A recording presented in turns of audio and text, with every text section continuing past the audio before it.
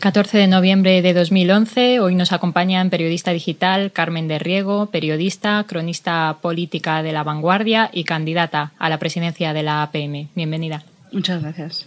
Bueno, Carmen, eh, ¿por qué se presenta? Me presento porque me convencieron un grupo de compañeros. Yo pertenecía a la anterior junta directiva, a la que presidió Urbaneja durante ocho años.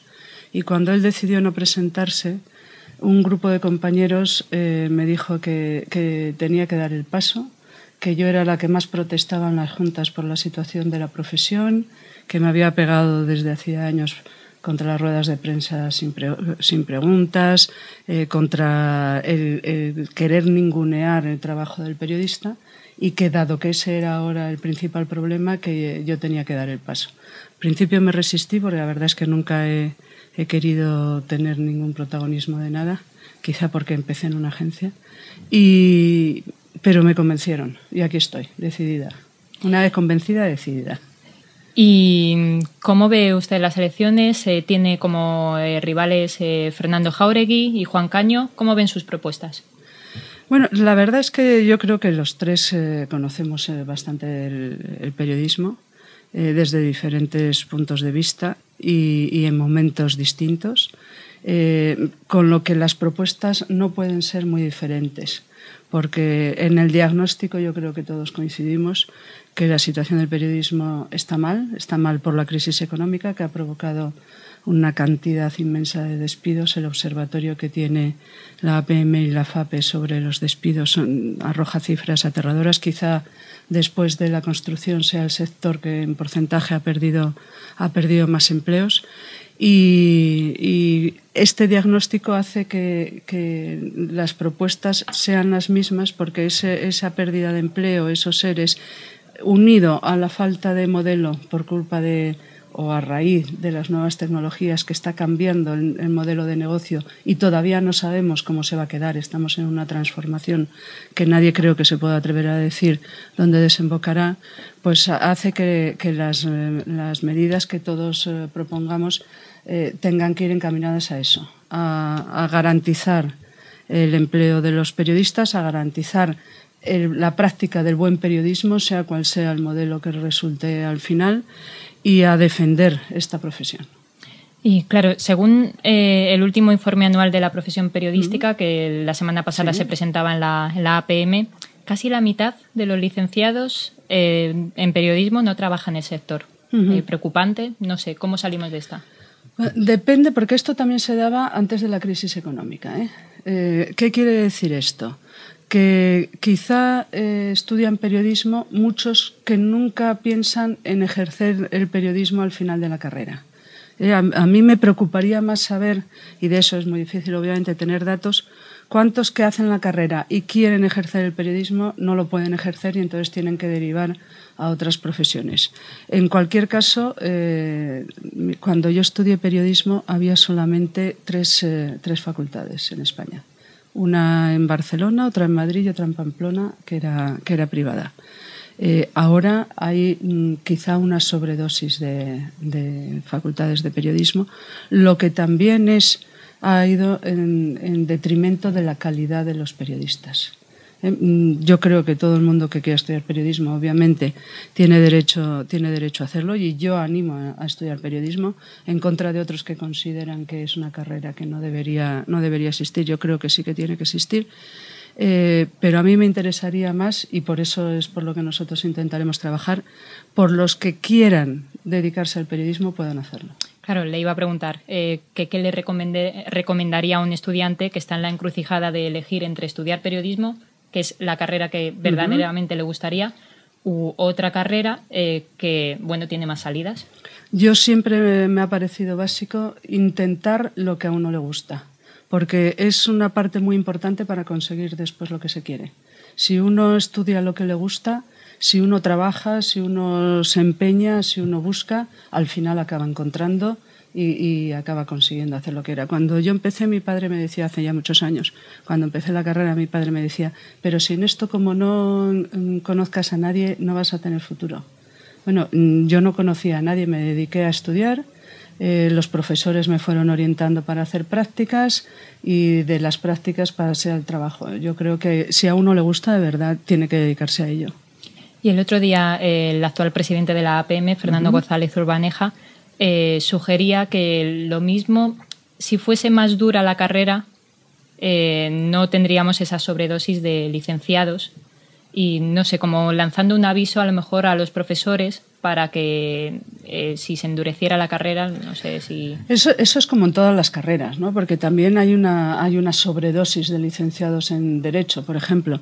Lo que sí es verdad, eh, se ha intentado y se, se, se, ha hecho algo y pretendemos hacerlo más profundamente eh, si gana nuestra candidatura, es que la APM influya en, el, en las universidades para establecer el programa de estudios. O sea, que, el programa de estudios que se da en las universidades, por supuesto, eh, proporcione una cultura que a mí me parece básica, tanto en derecho como en economía, eh, como en ciencia política, cosas que se dan también, pero también prácticas. Aparte de la redacción periodística, yo creo que que hay que ir más a, que los que estamos en contacto con, el periodismo diario, a los que todos los días trabajamos, escribimos, hablamos por la radio, por la televisión o en un medio digital, influyamos porque, porque entonces los periodistas saldrán mucho mejor preparados. ¿Será más dura? Será más dura, pero el que quiera ser periodista lo hará igual.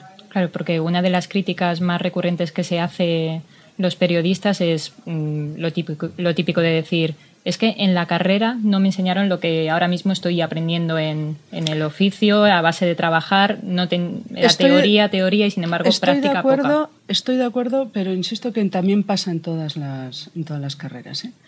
Eh, un estudiante de Derecho, si después, por su cuenta, él eh, no se anima a ir a los juzgados a ver juicios, no se anima a pedir prácticas por el verano en bufetes de abogados mm, casi poco menos que sin cobrar un duro. No estamos, no estamos contra, a favor de ello, sino todo lo contrario, que las prácticas tienen que ser pagadas. Pero me refiero, si no se, se pide el esfuerzo después en periodismo, igual que en cualquier otra carrera, de querer ir más allá de los estudios que te dan, eh, efectivamente eso pasa, pero pasa en todas las carreras. Y nos preguntan en Twitter, en la cuenta de Periodista Digital, si tenemos algo de culpa los periodistas en la deriva que está tomando nuestro gremio. Tenemos parte de culpa, pero no toda la culpa. Eh, la crisis económica, mejor dicho, el boom económico hizo que se allegara a los medios de comunicación eh, editores, empresarios que no tenían nada que ver con el periodismo que, lo que querían era hacer negocio, cuando no otros, otros negocios inconfesables a través de medios de comunicación a su servicio. Con esto fue devaluando la calidad del, del, periodismo, de lo que se le exigía al periodista que trabajaba en esos medios. Con la crisis económica, esos editores, al ver que dejaban de ser negocio, que ya no podían eh, servir a sus, a sus intereses, se han ido y han dejado a muchísima gente en la calle. Muchísima gente en la calle eh, es carne de cañón para que editores sin escrúpulos eh, les contraten para, para, escribir lo que no deberían escribir. Por eso digo que mm, somos culpables porque aceptamos eso, pero muchas veces los periodistas no tienen más remedio que aceptar eso y los editores son mucho más culpables. Y con la ola de despidos que se está produciendo, ¿cuál cree usted que es el futuro de la prensa en España? Como decía antes, el futuro de la prensa está por escribir. Eh, estamos adaptándonos por la crisis económica y por las nuevas tecnologías, los nuevos medios de comunicación, a un modelo que todavía se está buscando en España y en el resto del mundo. Todos los días escuchamos que un periódico ha dejado de, imprimir en papel y se pasa a, Internet solamente, otros que se adaptan y van a pasar solamente el fin de semana a papel y el resto de los días a, Internet. Eh, Twitter está siendo también, Twitter o otras redes sociales están siendo también una revolución en, en el modo de transmitir la información. Eh, esa adaptación todavía no ha acabado y todavía no podemos decir ni que el futuro va a ser Internet ni que el futuro va a ser el papel o la televisión o la radio. Al final será un modelo que no sabemos cuál es y lo que tenemos es que intentar estar ahí para, para diseñar junto con los editores y los dueños de los medios eh, ese modelo para que mm, por encima de todo el periodismo sea el que prime a la hora de configurarlo. Eh, ¿Cree que habría que hacer algún pacto de empleo con, con el poder, vamos, con quien salga eh, por, supuesto. en las elecciones. Ah, creí que, que, decías pacto de empleo con los editores. También, bueno, también estarían incluidos ahí. Porque es, lo intentamos, la actual Junta con Urbaneja a la cabeza. Se hizo una propuesta de pacto de empleo que desgraciadamente los editores rechazaron. Entonces, eh, se puede volver a intentar pero sabiendo que en unos momentos de crisis como este los editores no van a querer eh, aceptar las mínimas reglas de dignidad de la profesión periodística, por lo menos las que nosotros, las que nosotros defendemos, y de la profesión periodística. Eh, los editores ahora están buscando fórmulas que no son las de contratar a la gente con un contrato laboral normal los falsos autónomos, los freelance, los colaboradores, todos esos que al final son, y, desde el punto de vista de la inspección de trabajo deberían ser contratos laborales, los editores por la crisis están llevándolo por otro lado. Luego el pacto, nosotros lo reiteraremos porque lo tenemos escrito, presentado y rechazado. Lo podemos modificar, lo podemos cambiar. Desde luego haremos todos los esfuerzos, pero que sepan la gente que, no, que, ya ha sido rechazado, que se presentó uno y ha sido rechazado. Y le quería preguntar por otros temas. Eh, no sé, el Consejo Estatal de Medios Audiovisuales, ¿es oportuno o no? Eh, vamos a ver, está en la ley. A nosotros nunca nos gustó. El Partido Popular eh, ha manifestado, aunque no lo lleva en su programa electoral, que no lo pondrá en marcha. Ah, son declaraciones, pero no está en el, Partido Popular. Desde luego, nosotros y nuestra posición, y la APM yo creo que tiene que estar ahí en esto, como en otras muchas cosas, para configurar todo lo que afecte a los medios de comunicación, la APM y la FATPE, que representa a todas las asociaciones, estará y defenderá siempre eh, lo que mm, vaya más acorde para defender la libertad de información y la libertad de expresión porque es un derecho que tienen los ciudadanos reconocidos en la Constitución, no es un derecho de los periodistas, es un derecho de los ciudadanos. Nosotros lo que hacemos es garantizar que los ciudadanos tienen ese derecho y con lo que todo lo que coarte eh, esa libertad de, información nosotros estaremos en contra. Otro tema, la privatización de las televisiones autonómicas. Eh, ¿Qué es lo que piensa acerca de él? Eh, estamos en lo mismo.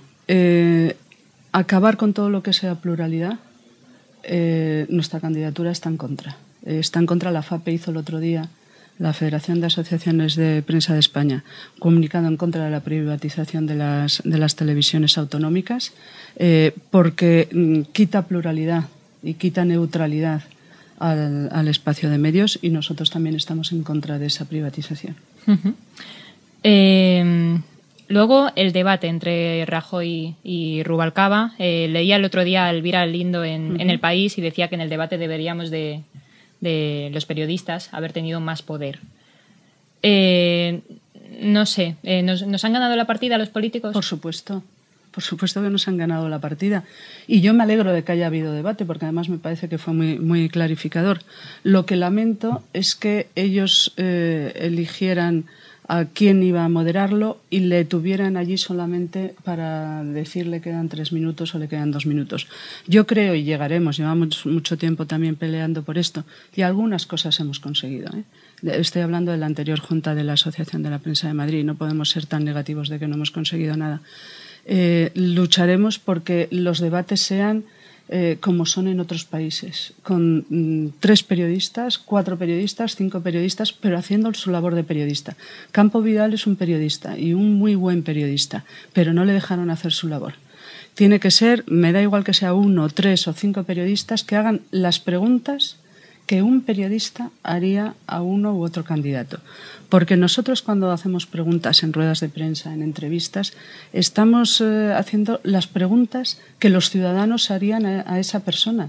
Estamos haciendo la versión eh, tradicional del tengo una pregunta para usted que hacen los ciudadanos. tenemos ese papel. Eh, nada más. Yo me imagino que tú ahora no me estás haciendo las preguntas que a ti te gustaría hacerme, sino las preguntas que crees que interesan a los socios de la Asociación de la Prensa, que son los que van a tener que elegir entre tres candidatos. Y ese papel es el que tenemos que seguir defendiendo también en un debate. Y hablando de debates, eh, ¿no se han planteado en, su en la asociación eh, hacer un debate entre los tres candidatos? Bueno, la asociación no tiene que plantarse nada. La asociación, la junta directiva actual, en el momento en que se convocan las elecciones, da un paso atrás y ahora la, Asociación de la Prensa está regida por una comisión de garantías y electoral con gente en funciones, ¿no? Sí, con gente que no pertenece a la junta directiva en ningún caso, sino que son elegidas de gente de gente al margen para garantizar el proceso eh, electoral y la neutralidad de, la asociación en ese proceso. Eh, nos han planteado hacer debates. Eh, Fernando Jauregui, eh, sobre todo, quería hacer debates. Yo le dije que estaba dispuesta a hacer debates. Con algunas condiciones. O sea, nosotros no somos políticos. A nosotros no nos votan los ciudadanos. Con lo que si hacemos un debate tendría que ser para los socios, de, la Asociación de la Prensa, que son los que tienen derecho a, además, son periodistas a levantar la mano y preguntarnos. Y eso la verdad es que pasa habitualmente. A lo largo del año hay dos asambleas donde van todos los periodistas que quieren y pueden preguntar a la, a la junta directiva por esto. El, otro día hubo uno y, se preguntó hasta por qué nos habíamos gastado tanto dinero en el Día del Patrón y en qué. O sea, la fiscalización está bien hecha. Eh, hubo otro candidato que no quiso hacer debates y yo mm, consideré que si los tres no hacíamos no, no debería haber debates. Desde luego yo todo lo que sea eh, sobre la profesión, sobre la defensa de la profesión, estoy dispuesta a discutirlo con cualquiera, porque las ideas las tengo bastante claras. Y bueno, eh, ¿qué es lo primero que hará en el caso de ganar las elecciones? Pues ponerme a trabajar. Ponerme a trabajar para, para varias cosas.